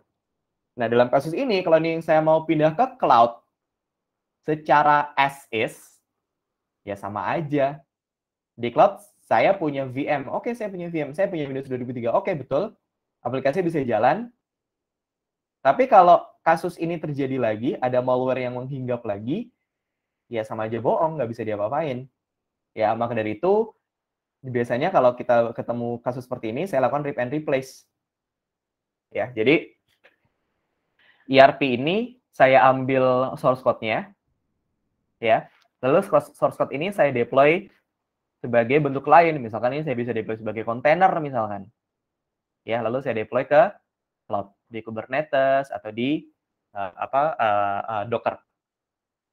Ya, atau di stateless container service, terserah. Gitu. Dan ini uh, tadi ya uh, paling effort, paling lama karena ya kita harus ambil source code-nya dulu, kita harus testing segala macam. Ini kayak kita deploy aplikasi baru kan, secara secara secara apa namanya uh, esensinya. Jadi ini uh, tiga tiga cara untuk migrasi, ada lift and shift, ada improve and move, sama ada rip and replace, beserta benefit dan limitasi dari masing-masing. Ya, kita mau pakai yang mana ya tergantung existing workload kita kayak apa, target replikasi kita tuh mau kayak, eh sorry, target migrasi kita tuh mau mau untuk apa. Oke. Dan satu hal lagi yang perlu direncanakan adalah plan the interconnect. Ya, berarti kan existing saya udah punya on premise, di sini ada router uh, uh, edge atau edge gateway, terus ini ada internet, terus di sini saya punya uh, cloud uh, network, ya kan? Saya punya VM, uh, misalkan, misalkan saya udah replik, saya udah migrasi uh, VM web server ke cloud, tapi VM database-nya masih di on premise. Kan nggak mungkin kan? VM web server saya setiap kali dia mau akses ke VM database itu harus pakai public IP harus lewat internet. Ini kan sesuatu yang nggak efisien, nggak efektif, nggak secure. Ini worst practice lah kalau di IT. Nah, untuk itu kita harus pikirin, oke okay, kalau gitu gimana caranya kita hubungin antara on-premise network kita ke cloud network kita agar migrasi kita lancar, agar migrasi kita lebih secure, agar network antar site ini itu lebih uh, dependable, lebih lebih lebih uh, bisa diandalkan Nah, kita pikirin. Biasanya ada tiga cara untuk menghubungkan antara on-premise network kita ke uh, cloud network. Apa aja? Pertama bisa pakai VPN. Ini cara paling gampang, paling murah, paling cepat lah. Ya. Jadi kita bisa establish site-to-site VPN. Di on-premise kita bisa deploy VPN gateway atau ini teman-teman yang uh, mungkin uh, corporate pasti udah punya VPN gateway di di di uh, premise masing-masing. Terus di cloud network kita juga bisa deploy virtual VPN gateway. Lalu kita konekin deh lewat VPN tunnel. Walaupun underlying-nya masih pakai internet, tapi kan dia udah ada di, udah di encrypt kan. Jadi at least lebih secure dan komunikasi antara VM workstation, eh, workstation apa nih, VM web server dengan VM database ini dia lebih secure karena nggak pakai public IP lagi tapi pakai private IP karena udah terhubung lewat internet. Lewat ya, lewat VPN. Apa minusnya? Minusnya adalah karena in underlying underlyingnya internet, ya bandwidthnya juga tergantung tergantung apa uplink ke internet kita berapa berapa gede bandwidthnya gitu. Gimana kalau kita pengen uh, lakukan interkoneksi antar site, tapi saya pengen interkoneksinya itu bandwidthnya itu gede, dan uh, langsung langsung ke langsung ke networknya cloud provider. Nah, kalau gitu saya bisa masuk ke opsi kedua yaitu dedicated interconnection. Jadi kalau kita pakai dedicated interconnection itu kita harus physically bisa colokin kabel, kabel fisik, benar-benar kabel fisik dari router kita ke routernya cloud provider yang disediakan untuk colocation. Ya, namanya dedicated interconnect. Jadi ibarat kata kayak saya punya on premise, on premise network, di sini saya punya router, routernya saya colokin kabel, ini kabel fisik, ke routernya si cloud provider. Dan di sini bandwidth-nya jelas-jelas jauh lebih uh, bagus dibanding sama VPN, karena dia dedicated interconnect, dedicated connection. Tapi apa minusnya? Ada dua. Pertama, pertama si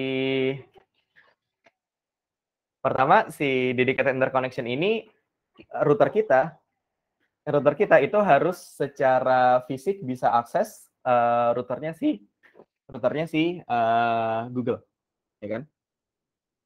Jadi harus harus uh, kabelnya harus bisa nyolok ya. Dan ini jadi limitasi. Mungkin buat teman-teman yang ada di luar jangkauan uh, lokasi fisik si router colocation ini mungkin nggak bisa. Misalkan kayak kayak Google atau uh, AWS atau provider lain itu dia misalkan punya uh, lokasi routernya dia itu misalkan adanya di Jakarta. Tapi misalkan teman-teman ada di luar Jakarta, misalkan ada di Bandung, ya jelas teman-teman nggak bisa pakai dedicated interconnect. Terus gimana kalau saya pengen dapetin bandwidth yang lebih bagus dari VPN, uh, semi dedicated lah. Tapi saya nggak mau pakai VPN, saya nggak mau pakai internet. Nah, kita bisa pakai cara ketiga, yaitu lewat ISP atau cloud partner yang ditunjuk oleh si cloud provider tersebut. Ya, jadi kalau kita pakai yang opsi ketiga, connect secara direct, secara dedicated ke uh, routernya uh, cloud itu adalah jaringan ISP. Ya. On-premise network kita connect ke ISP itu melalui ya jaringannya ISP, ISP One Link. Pakai apa? Terserah nih bisa pakai MPLS, Metro E, uh, broadband, apa pun. Ya. Jadi uh, dari sini secara jarak itu bisa lebih fleksibel daripada dedicated interconnection. Secara security tetap secure karena ya ini kan jaringan ISP sendiri. Secara bandwidth juga lebih tinggi dibanding sama VPN. Gitu. Jadi terserah teman-teman bisa pakai yang VPN, dedicated interconnect atau lewat ISP. Ideally ada tiga cara ini, ya. Intinya uh, goal dari interconnect ini adalah bikin sebuah hybrid cloud environment. Hybrid cloud environment itu maksudnya adalah um, uh, environment antar uh, on-premise sama cloud itu dia nyambung. Dia bisa ngobrol pakai private IP, pakai internal uh, network gitu ya, nggak pakai public IP. Itu namanya hybrid connection, hybrid cloud. Ya, ini contoh dari migration plan uh, example. Uh, ini saya generate pakai Google Cloud. Jadi target uh, service-nya itu menggunakan teknologinya Google Cloud. Tapi intinya ini teman-teman bisa lihat ya, misalkan saya punya empat uh, tipe service, ada Git server, ini tempat kita nyimpan source code yang dibutuhkan sama aplikasi-aplikasi kita. Ada website buat marketing, ada website buat analitik, sama ada firewall appliance. Git marketing website sama analytics server, eh sorry, Git sama marketing itu dia bentuknya VM, analitik bentuknya Kubernetes container, firewall bentuknya hardware appliance. Ya, nah uh, tiga ini, VM dan Kubernetes, saya bisa lakukan migrasi secara lift and shift. Ya, jadi pada uh, pada saat ada di cloud, servisnya kalau VM ya dia VM juga, kalau kontainer ya dia, kalau Kubernetes konten, uh, kontainer dia juga Kubernetes kontainer juga. Tekniknya gimana? Kalau VM saya bisa ekspor VM image saya, kalau Kubernetes kontainer saya bisa push Docker image ke uh, external hub, misalkan ke Docker Hub misalkan, ya. Tapi kalau firewall, karena ini adalah hardware firewall, saya nggak bisa live and shift. Saya harus ganti, rip and replace. Jadi saya harus buat firewall rule baru. Ya, bentuknya apa di, di, di Google Cloud? Kita bisa pakai VPC firewall rules. Ya, jadi ini uh, jenis migration plan yang harus kita edukasikan ke user, yang harus kita ngerti juga kalau kita adalah end user sehingga kita tahu oh ini implikasinya seperti ini ya oh ini ada yang rip and replace oh berarti saya harus belajar lagi nih uh, cara kita manage firewall rule di di, di uh, cloud gimana ya jadi ini yang perlu kita perhatikan setelah migration plan ini di kita kasih ke user dan disetujui baru kita bisa deploy ya uh, opsional mungkin kita perlu pertimbangkan apakah kita mau bikin uh, POC dulu atau demo project dulu untuk tes aplikasi-aplikasi yang nggak kritikal, yang nggak punya dependencies, apakah dia bisa running di cloud, ya tuh ya. Jadi yang diimigrasi pertama adalah aplikasi-aplikasi yang nggak kritikal sama nggak punya banyak dependencies. Setelah itu baru kita monitor workload-nya. Selagi dimonitor kita uh, optimasi, kita cek apakah ada hal-hal yang bisa kita optimisasikan. Apakah ada hal-hal yang mungkin uh, tadi saya live and shift, mungkin kita bisa beralih ke improve and move, kita bisa beralih ke ke ke rip and replace dan seterusnya. Yeah. Yap. Uh, itu akhir dari materi uh, hari ini. Habis ini saya masih ada sedikit demo. Uh, saya udah siapin satu workload di on-prem di, di laptop saya sebenarnya. Di sini saya punya VM. Saya akan coba lakukan migrasi secara lift and shift. Dan lagi-lagi karena saya uh, punya exposure di Google, uh, saya akan coba migrasi VM on-premise saya ke uh, Google pakai cara lift and shift. Tapi sebelum itu, apakah ada yang mau ditanyakan sampai sini, teman-teman?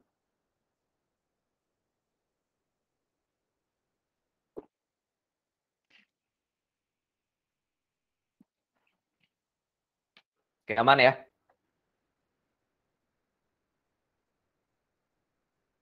Kalau nggak ada, kita langsung aja masuk ke demonya. Nah, saya siapin dulu. Jadi, di uh, di on premise oh ini belum mati sebentar di on premise di laptop saya itu saya udah punya satu VM Windows, dia Windows Server kalau nggak salah. Windows Server Client.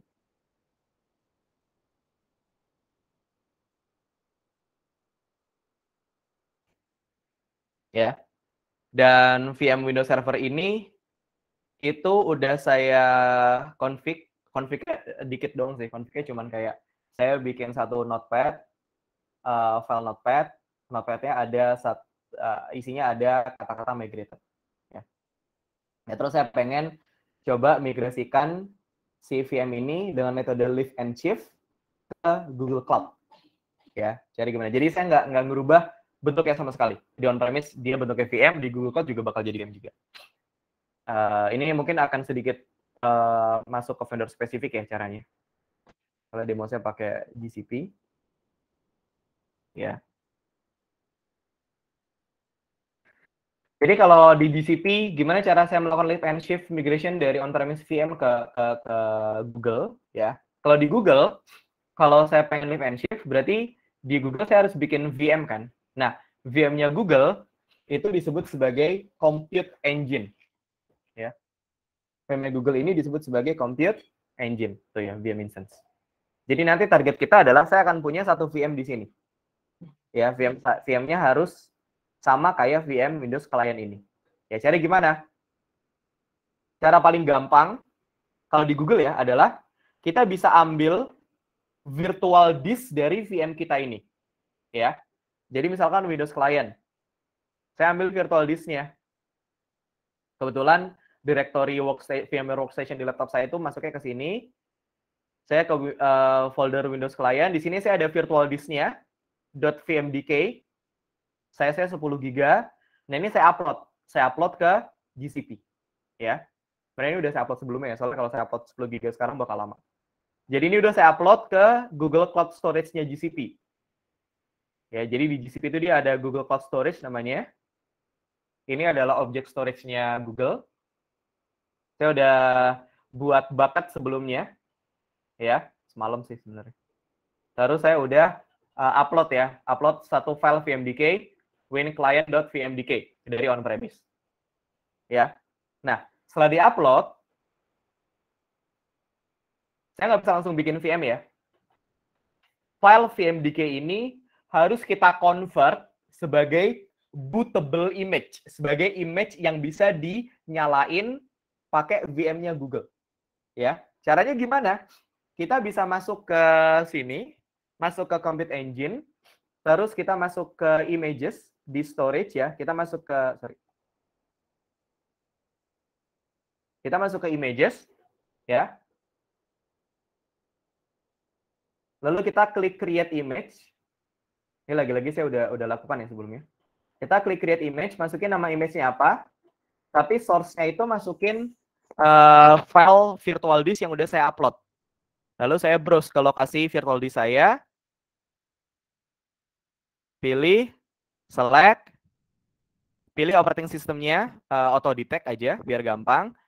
Terus klik create. Ya, tapi lagi-lagi ini lama. Jadi saya udah lakukan sebelumnya. Jadi hasil dari pembuatan image-nya adalah ini. Jadi saya punya satu image namanya Windows Client Image. Ya. Dikompres jadi cuma sekitar 8,43 GB. Oke. Okay. Nah, jadi ini adalah image hasil uh, importnya. So, saya udah lakukan import sebelumnya ya. Ini uh, tadi sih sebelum workshop ini dimulai. Hasilnya adalah si Windows Client image ini. Ya. Nah, sekarang baru setelah image-nya jadi baru kita bisa buat VM-nya. Ya, kita buat VM-nya. Tapi pakai image yang kita udah convert dari virtual disk yang kita udah upload dari VM on-premise kita. Oke, jadi misalnya ini kita masukin VM-nya. Misalkan namanya adalah VM uh, Windows uh, demo gitu ya. Terus kita masukin VM ini mau ada di uh, region data center yang mana. Nah ini adalah uh, esensi dari salah satu sifat cloud tadi ya, resource pooling. Jadi VM kita itu akan dipull di data center data centernya cloud provider dalam hal ini adalah Google yang tersebar di seluruh dunia dan saya bisa pilih saya mau tahu taruh di data center mana Nah, enaknya karena Google udah ada data center di Jakarta, saya bisa pilih agar dia ditaruh di Jakarta. Terus spesifikasi uh, apa spek VM-nya. Nah ini usahakan sama kayak spek VM yang ada di on-premise ya. Ya, biar nggak ada masalah nanti di aplikasi yang dijalankan. Tapi karena ini cuma demo ya, ini saya agak ngasal aja. Terus di bagian boot disk, ya, kita masukin image yang tadi udah kita convert dari apa tadi namanya ini? Ya? Dari uh, virtual disk yang udah kita upload, ya. Terus network. Nah ini juga menarik. di sini di on-premise itu saya punya IP, eh, saya IP config aja deh.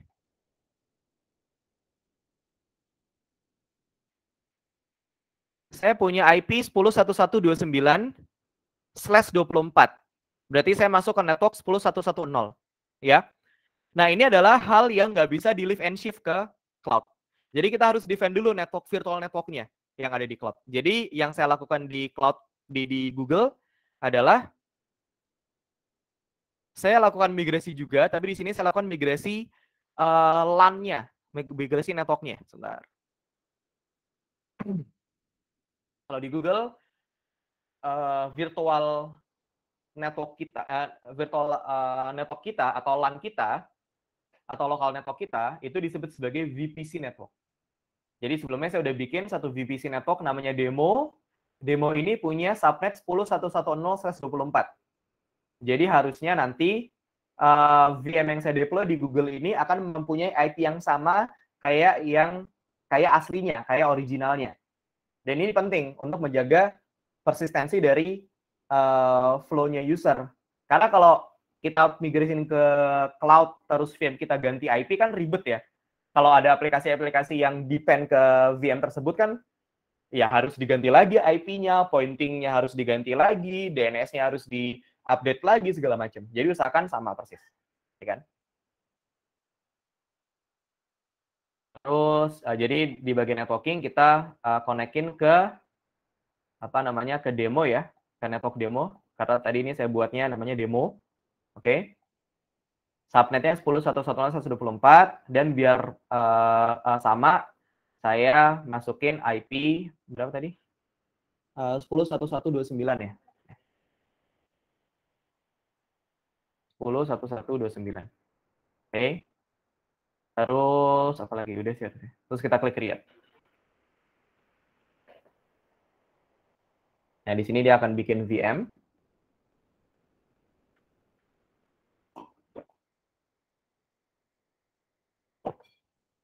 Kita tunggu sebentar. Nanti pas VM-nya udah jalan, kita bisa akses lewat RDP. Ya. Dan VM ini sengaja saya kasih public IP ya. Soalnya uh, saya nggak bisa demokan uh, koneksi VPN karena saya ini deliver dari dari rumah. Saya nggak punya VPN gateway untuk uh, site to site. Jadi koneksinya pakai uh, public. Cuman kalau di kalau di production beneran harusnya teman-teman at least bikin VPN-nya dulu antar site. Biar nanti kalau teman-teman mau ngecek uh, hasil hasil uh, migrasi ini, teman-teman nggak perlu akses lewat public IP dari VM ini. Teman-teman bisa akses dari internal IP-nya. Gitu, lebih secure. Kita tunggu. Dan sama lagi-lagi sama, sama seperti yang dibilang Mbak Sultana ya. Teman-teman kalau ada yang mau ditanyakan, tanyain aja. Udah jalan, udah nyala. Kalau di Google uniknya adalah walaupun di sini kan saya udah udah punya username password ya. Sudah punya username password atas nama Winnie Client. Ya. Tapi pas kita uh, migrate ke uh, GCP, walaupun dia as is, kita tetap harus disuruh ngeset password baru. Ya. Baru RDP-nya bisa kebuka. Tapi nanti pas sudah login, kita bisa ganti ke password yang lama lagi. Ini kita tunggu, dia akan generate password uh, baru yaitu ini. Saya copy ke notepad. Dan usernya beda ya, tadi usernya admin. Terus ya udah. Kita uh, copy ini IP-nya.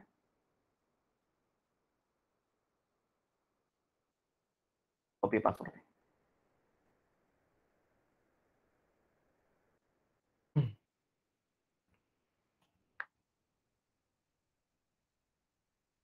Sih, ada file migrate test, migrated, dan kalau kita lihat IP-nya, harus IP-nya sama. Bentar.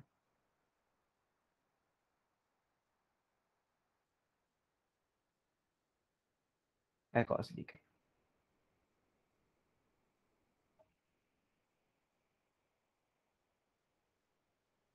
Oh ya. Oh, berarti user tadi, kalau di on-premise kan saya ada user uh, win client nih. Mana tadi? Win client. Pas dimigrasi ke Google kok usernya nggak ada. Nah, sebenarnya usernya masih ada, cuman nggak aktif. Emang ini behaviornya Google sih. Jadi, kalau saya masuk ke tadi kontrol kontrol panel,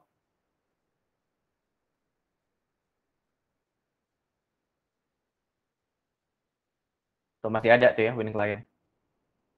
Oke.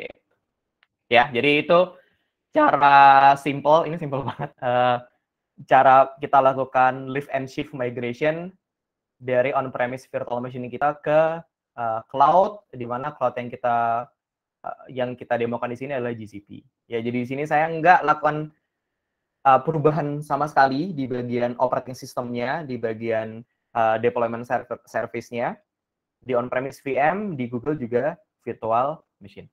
Gitu. Ada yang mau ditanyakan sampai sini teman-teman?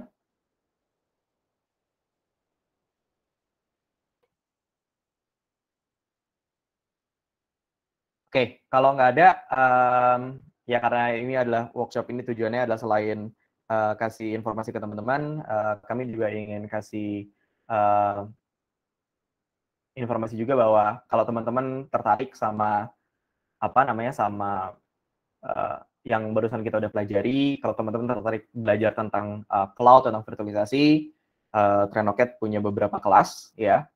Kalau teman-teman tertarik ingin uh, belajar lebih lanjut tentang virtualization basicnya dulu, teman-teman bisa ikut kelasnya VMware, uh, ikut kelas ini, Whisper 7 ICM.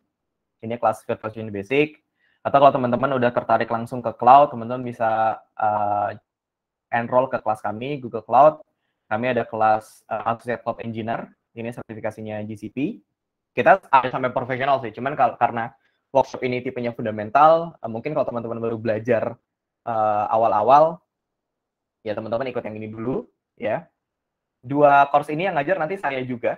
Jadi uh, kalau teman-teman mungkin cocok sama cara saya deliver, uh, monggo silakan bisa enroll kelas-kelas uh, berikutnya. Atau kalau teman-teman mau tertarik uh, belajar AWS, karena Trendket juga AWS uh, Authorized Training Partner, teman-teman bisa enroll ke kelas ini. Kalau di AWS, Associate uh, Certification namanya SAA, Solution Analyst Associate. Sorry, ini ada yang uh, chat, sebentar.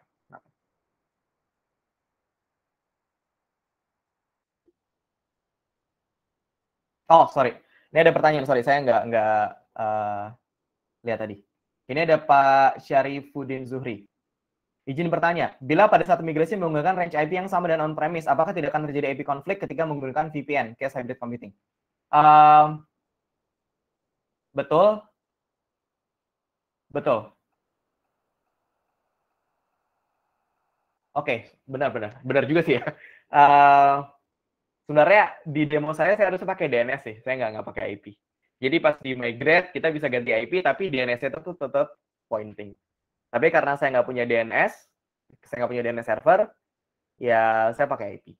Tapi kalau di kalau di production betul, uh, biasanya kita bikin satu subnet uh, khusus buat buat hasil migrasi ke cloud, baru kita deploy pakai uh, baru kita pointing pakai DNS. Tapi sebenarnya ini mungkin pembahasan yang lain ya, cuman sebenarnya kita bisa ada beberapa solusi untuk nge-stretch a network dari on-premise ke cloud ya uh, atau overlay network ya kalau teman-teman mungkin udah pernah dengar. Uh, contoh kayak VMware. VMware itu dia punya solusi namanya NSX Federation. Jadi kalau di on-premise kita punya vCenter, di Google Cloud kita bisa deploy vCenter, lalu kita bisa stretch uh, satu layer 2 network yang sama antara GCP, eh sorry, antara GCP sama on-premise. Jadi VM kita pada saat dimigrasi bisa pakai IP yang sama, bisa terhubung ke subnet yang sama, betul. Tapi kalau case kita cuma pakai VPN, betul Pak Syarifuddin, kita harus ganti IP-nya. Kalau kalau kita satu set VPN. Ini untuk Pak Hans, ini ada pertanyaan. Apakah mungkin aplikasi monolit dimigrasikan menggunakan metode serverless dalam artian berjalan dengan baik? Monolithic serverless. Uh, kalau kita pakai serverless, berarti kan yang kita put ke GCP itu kan monolithicnya apa dulu nih? Kalau monolithicnya adalah Docker image, ya bisa. Docker image kan bisa monolithic ya. Dalam artian kita bikin Docker image secara custom, di dalamnya kita install uh, uh, uh, Nginx sama web satu Docker image kita taruh ke Docker Hub. Nah, pas di pas di GCP misalkan kita jalankan si Docker image-nya, tapi secara serverless, nah itu bisa, nggak apa-apa, bisa. Tapi kalau misalkan secara serverless kan kita nggak bisa nggak bisa uh, define uh, dia mau pakai storage-nya apa, dia mau berapa CPU, berapa memori, karena dia serverless, ya kan? Jadi kalau monolith sebaiknya di deploy-nya ya jangan serverless ya, tapi non serverless. Kalau kita mau deploy secara serverless, sebaiknya kita pecah dulu jadi yang stateless dulu. Nah, stateless dulu stateless inilah yang kita jadikan sebagai serverless. Kalau kita pakai karena kalau kita pakai serverless, kita bakal otomatis bakal auto scaling. Problemnya kayak balik lagi ke tadi. Jadi dalam artian bisa atau nggak bisa, tapi best practice atau nggak nggak. Mudah-mudahan menjawab, Pak Hans. Terima kasih, Pak Syarifudin, sama-sama. Ngomong-ngomong kalau di Google, uh, kalau di Google, siap. Cara kita deploy serverless uh, container tuh gimana sih? Di Google ada namanya Cloud Run. Ya. Ini kalau teman-teman mau belajar lebih lanjut ya. Cloud Run, nanti kita bisa define dia mau jalanin Docker image apa. Tapi dia serverless, jadi kita nggak perlu define Docker hostnya, kita nggak perlu define apa namanya Kubernetes clusternya. So ya. Ini server apa kita masukin uh, Docker image-nya apa. Gitu, langsung. Dan dia langsung auto scaling. Ya. Oke. Okay. Uh, eh, ada lagi teman-teman yang mau ditanyakan? Oke, saya balik lagi ya. Saya jelasin kelas kelasnya lagi. Jadi kalau teman-teman mau ada ter, uh, tertarik ingin melanjutkan uh, pembelajaran teman-teman dari workshop ini, teman-teman bisa ikut kelas official kami. Kami ada Google, kami ada AWS, terus kami juga ada Azure ya untuk public cloud, Microsoft Azure. Untuk Azure, teman-teman kalau mau yang fundamental, teman-teman bisa ambil yang Azure 900 dulu. Atau teman-teman bisa langsung prepare buat yang uh, administrator associate, teman-teman bisa ambil yang Azure 104 atau teman-teman juga bisa uh, masuk ke Alibaba. Kami juga uh, authorized training partner dari Alibaba Cloud. Teman-teman bisa kalau yang fundamental, kalau yang associate, teman-teman bisa ambil sertifikasi ACA namanya, Alibaba Cloud Certification Associate. Ngomong-ngomong, uh, ini sedikit promosi lagi. Trainer dari kelas-kelas ini, VMware sama Google, trainernya saya, Ardan. AWS trainernya ada dua, ada namanya Pak Bondan dan namanya Pak Furkon sama ada namanya uh, Ibu Syasya. Azure trenernya ada dua juga, uh, Ibu Syasya dan Pak Bondan. Alibaba trenernya Pak Furkan lagi. Nah, uh, kenapa ini saya saya uh, uh, bilang karena uh, kan tadi kita uh, disampaikan juga sama Mbak Sultan bahwa ini kita adalah workshop series, jadi ini adalah workshop pertama, tapi uh, ke depannya ada workshop-workshop lainnya. Nah, trainer-trainer kami yang lain, uh, Ibu Syasya, Pak Bon, dan Pak Furkon, itu akan deliver workshop-workshop itu juga. Jadi kalau teman-teman pengen tahu cara uh, ngajarnya, kalau mungkin salah satu hal yang membuat teman-teman mau ikut kelas adalah, saya pengen tahu nih trainernya kayak gimana dulu. Nah, teman-teman bisa ikutin aja workshop-workshop selanjutnya. Mungkin nanti uh, Mbak Sultana bisa bisa kasih info lebih lanjut uh, di mana workshop-workshop selanjutnya itu yang ngajar adalah uh, Mbak Syasya, Mas Bondan, dan Mas Furkon. Gitu. Jadi kayak test drive dulu nih, ya kan? Oke, okay, uh, kalau gitu terakhir uh, teman-teman tolong isi feedbacknya. Feedbacknya ada di sini bit.ly slash TRID workshop feedback. Tolong teman-teman isi ya. Teman-teman juga tolong isi email teman-teman di feedback ini.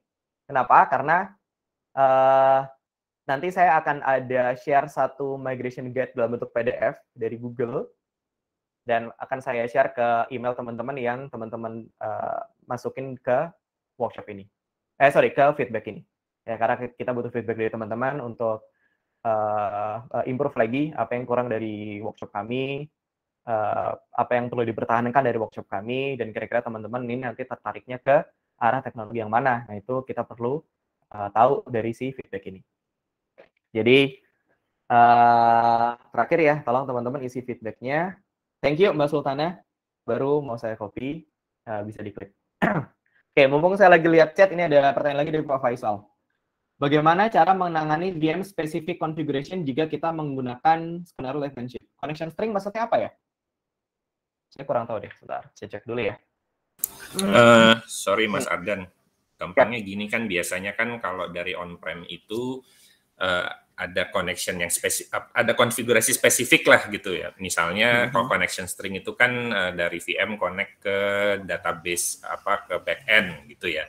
Oke. Okay. Nah itu kan uh, dipindahkan dengan lift and shift kan itu ya pasti ada ya gampangnya gini sih bagaimana menangani uh, perubahan environment gitu ya ya terserah mau IP address lah mau apa gitu yang yang spesifik di on prem nah terus dipindahkan ke Google Cloud yang pastinya ada ada perbedaan di situ gitu sih mas. Sip. Thank you, thank you Pak Faisal. Hmm. Uh, connection stringnya itu aksesnya dari IP atau dari DNS? Kalau misalkan dari IP, hmm? biasanya tergantung sih uh, yang best practice tentu DNS ya tapi ya. umumnya uh, ada juga banyak masih banyak saya kira perusahaan-perusahaan yang connection stringnya itu ya? pakai IP ya itu ter terutama yang tradisional ini ya. Okay. Biasanya mereka IP based gitu. Anyway yang yang gampangnya gitu sih dari spesifik di on-prem terus ntar kita ya. Uh, pindah nggak harus nggak harus connection string gitu sih sebetulnya. Iya, nggak harus nggak harus kita nggak harus kita define lagi ya connection stringnya ya. Iya, uh, uh, ya. gitu. Oke, okay, uh, di Google contohnya kita bisa kita bisa kasih uh, range IP yang sama persis kayak di on premise seperti yang saya bilang tadi. Jadi kalau misalkan di on premise VM database kita pakai IP uh, 10111, nah pas kita lift and shift ke atas, saya bisa siapkan dulu nih VPC networknya dengan range yang sama. Mana tadi? Saya bisa siapkan VPC networknya dengan range yang sama. Ya, 10111 misalkan sehingga nanti pada saat VM yang saya taruh di Google, saya akan hubungkan ke virtual network yang ini. Jadi IP-nya nggak akan berubah. Gitu. Itu kalau IP. Kalau DNS gimana? Kalau DNS, tanpa uh, saya bisa bikin custom internal DNS zone di sini. Mana sih? Ya, jadi saya bisa bikin custom internal DNS zone di sini. Ini belum saya enable. itu saya bikin uh, domain yang sama kayak di on premise. Jadi pada saat VM-nya saya saya migrate ya ke ke GCP misalkan, ya saya nggak perlu ganti uh, endpoint connection-nya, endpoint uh, uh, address-nya, karena zone-nya ada juga di sini. Itu sih paling. Jadi uh, kalau kita mau migrasi betul ya, kalau kita mau migrasi uh, application, usahakan seluruh supporting service. Ya semuanya itu uh, dibuat semirip mungkin dengan yang, dengan yang ada di on premise sehingga pada saat kita, kepada saat kita migrasi itu sedikit yang harus kita sedikit yang harus kita ubah gitu. Cara kita uh, bikin persisten gimana? Kalau IP ya tadi kita bikin VPC network kita bikin IP range yang sama dengan on premise Cloud DNS gimana? Caranya seperti ini. Kita bikin uh, zone baru yang sama kayak on premise tapi private ya bikin nama zone-nya apa, misalkan nama zone-nya internal dot uh, renocat misalkan, terus nama DNS-nya misalkan. Oh sorry, nama zone-nya misalkan uh, internal, terus DNS-nya misalkan renocat, terus hubungkan ke network yang tadi, misalkan demo. Jadi DNS zone ini hanya bisa diakses dari VM-VM yang ada di VPC atau di network demo tadi. Terus setelah zone jadi baru biasa ya saya bikin A record. Ya A record yang pointing ke IP-nya si uh, database tadi. Misalkan kalau di on-premise database diakses pakai nama pakai endpoint database.nfcat ya udah bikin juga A record yang sama kasih IP-nya misalkan 10 1110. Ketik create. Nah, sehingga otomatis nanti VM-VM yang terhubung ke satu uh, zone ini, sorry, satu uh, uh, network ini dia bisa query ke DNS Zone dengan nama yang sama dengan yang ada di on-premise, dan data-datanya pun juga sama, karena kita udah siapkan. Gitu. Tapi jatuhnya ini bukan migrasi live and shift ya, ini migrasi live and replace. Karena ini saya buat dari awal lagi. Gitu sih Pak. Menjawab nggak kira-kira Pak Faisal? Oke, okay. thank you, thank you Mas, cukup menjawab. Hmm. Siap, thank you, thank you Pak pertanyaannya. Oke, okay, uh, eh, ada lagi mungkin pertanyaan?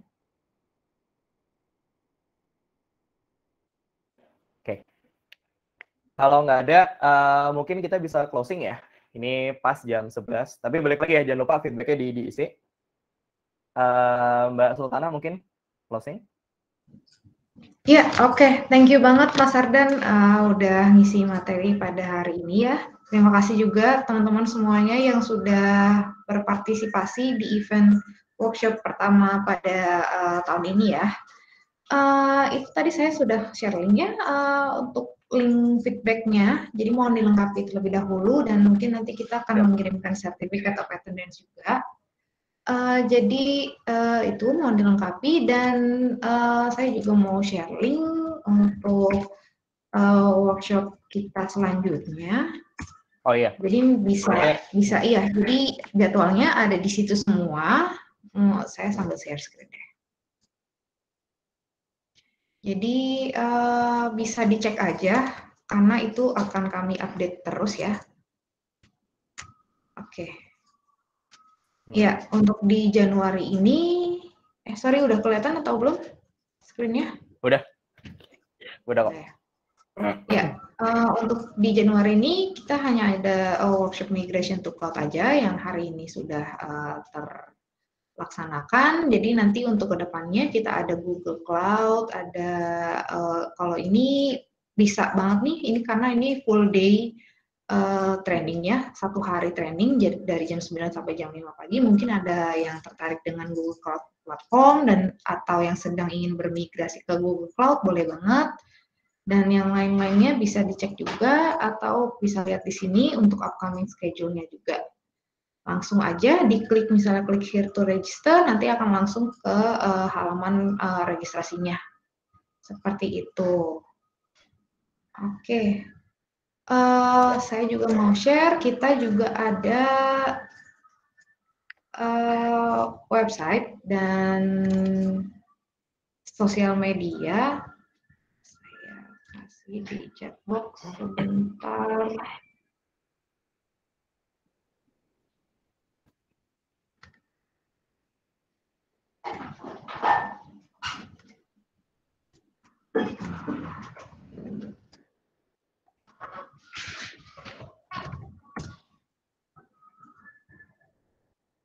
uh, jadi bisa juga uh, follow uh, sosial media kami dan uh, biasanya kita juga update update promosi atau uh, upcoming event di uh, website kami juga di www.renoket.com slash ID. Nah, nanti bisa uh, kunjungin aja websitenya. Saya tulis chat box. Atau uh, ada pertanyaan terkait uh, training atau sertifikasi yang mungkin uh, jika ada yang belum minat, bisa aja kontak di email di indonesia.trenoket.co.id atau di WhatsApp juga bisa.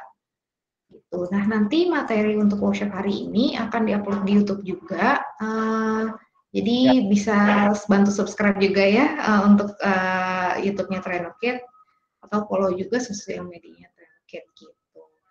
Dari saya itu aja. Terima kasih semuanya atas partisipasinya hari ini. Mungkin jika ada uh, kesalahan atau hmm. kekurangan, saya mewakili Trenokit. Mohon maaf sebesar-besarnya. Kita bisa bertemu lagi ya di workshop selanjutnya atau di kelas-kelas training selanjutnya.